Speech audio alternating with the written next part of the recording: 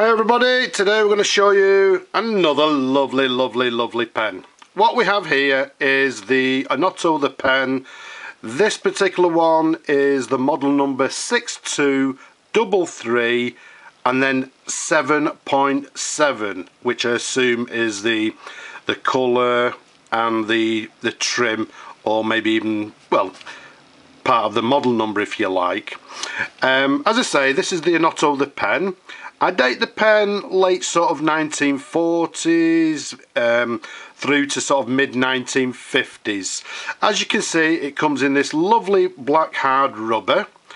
And if we show you the top there you can see it's got the very recognisable chevron Onoto um, Thomas De La Rue symbol to the top of the clip there. And you can see the clip ring goes around um, around the top of the cap there um, to the bottom of the cap there you can see it's got two two gold uh, gold filled cap bands.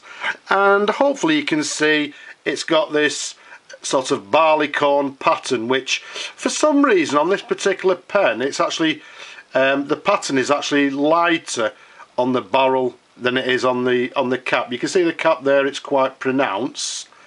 Um, whereas on the barrel um, for some reason not as pronounced as the uh, as the cap itself. But if we show you the the barrel imprint there you can see it's got the Onoto the pen and then underneath it's got De La Rue Delarue London. To the bottom of the of the pen sorry incidentally this particular one is what we term as a plunger filler. And to the end of the pen there we've got what we term as the plunger knob there. Now this pen came to me in a little bit of a sorry state. Normally what you'll find is the top of the cap, this button here and the plunger at the bottom tend to discolour which uh, is what happened with this particular pen but we've we've fully restored it and we've you can see it's um, a lot blacker now and it's matching the rest of the pen absolutely lovely pen if we come back to the to the plunger or the plunger knob to the bottom there.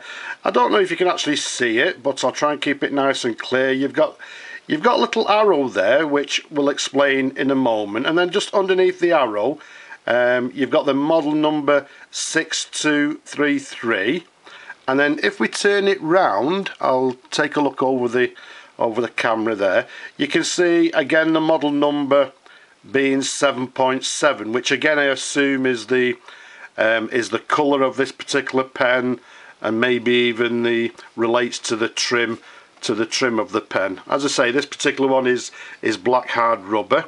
The size of the pen from the top of the cap to the bottom of the barrel is approximately 135 millimeters um, capped. Around the barrel here it's approximately 11 millimeters in diameter.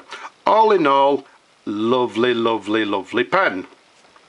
Now just going back to the arrow here, which again we'll show you, you can see it's got an arrow um, pointing to the to the left if you like. The reason being is that if we take the cap off here, let's first of all give you a nice little twirl like that, show you the pen in different at different angles. Lovely pen. Onotos are actually my favourite pens. Um, if we show you to the top there, you can you can see it's got this elongated section to the top there with a little um, a little area just to the top of the section there, and then we've got this lovely Onoto nib. Now, if we show you the nib, again, let's keep it nice and still for you. And what we've got here is a gorgeous Delarue Onoto 14 karat gold London 3 dash ST gold nib. Okay now if we give you a sideways view there you can see the sideways and then again if we show you the back there you can see it's got this standard um, Onoto feed underneath there. You can see it's lovely and clean. As I say we've fully cleaned and fully fully restored this particular pen and it's come out absolutely gorgeous. Sorry let's come back again to this arrow at the bottom. The arrow is actually on these particular pens, as, as I've explained on other, other videos that I've actually done, these particular pens have what they term as a shut-off valve inside here. And it's a little if you like a, a cone shaped um, top of top of the plunger is actually cone shaped and it sits inside inside the feed in here. And what actually happens is once you fill the pen um, you screw the plunger knob all the way home and then in effect what you'll actually do um, in the direction of the arrow you'll simply give it a half turn and what that'll do is open um, the shut off valve in there and help the ink flow when you're actually writing. So as I say what you do to fill this particular pen you unscrew this particular plunger knob here again let's give you a close-up. You can see it's lovely and clean. We've put new um, new rubber washers inside. We've got new cork washers.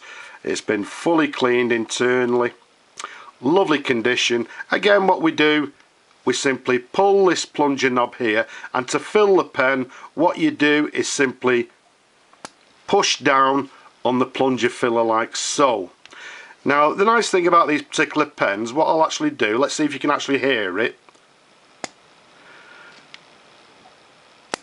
Okay, I don't know if you can actually hear that. When you actually push down on these particular pens, there's there's a sort of popping sound at the end. Okay, so I don't know if you can actually hear that, and what that means is, well, hopefully it's working working fine. So, well, the best way to find out is let's test it. So let's bring on some ink. And again, I've told you on these um, on the videos before, what you do, you simply um, dip the ink, or sorry, the nib in the ink. And to fill these pens, you simply push down once on the plunger. So let's do that. I don't know if you could hear that as well. You can see, well I can see over the camera, lots of bubbling you can hear like a, a popping sound as well which indicates that everything up to now is fine. Now what we need to do now is actually turn the plunger knob all the way home like so. And then as we said earlier in the direction of the arrow what we do we give it a turn back. And what that'll do is open this this shut off valve inside the section. So let's bring on a pad and let's do a little bit of writing. So so what we've got here as I said is the Onoto this is the Onoto the pen. And as we said the model number for this particular one is the 6233 and then to the back it's got 7.7 we date the pen I don't know, I'd say sort of the late late 1940s to around about I don't know maybe the mid 1950s now these particular nibs on the Onotos are actually renowned for being well for being quite flexible. And if I press down you can see I can get quite a thick line on the downward stroke. So let's do the the normal figure of eights. And then on the downward stroke let's apply well my writing's not very good but you can see on the downward stroke we're getting quite a thick line. And if we go across or don't put a lot of pressure on the on the nib you can see we can get a varied lines from thin to thick to very thin. So there's a writing sample. As you can see there's quite a variation in this nib. It's quite a flexible nib. All in all a lovely writer as well. So let's keep it well says he let's keep it short because otherwise I'll be chatting all day. So there we have it an absolutely gorgeous example of the Onoto the pen, the 623377 in this black hard rubber with gold uh, gold filled trim with the the chevron chevron clip to the top there. All in all an absolutely gorgeous pen. So I hope you've enjoyed looking at this pen. As always as much as I love showing them to you. So don't forget loads of more videos. Go and have a look. Leave a comment. Don't be shy. But for now I'll just simply say bye bye now.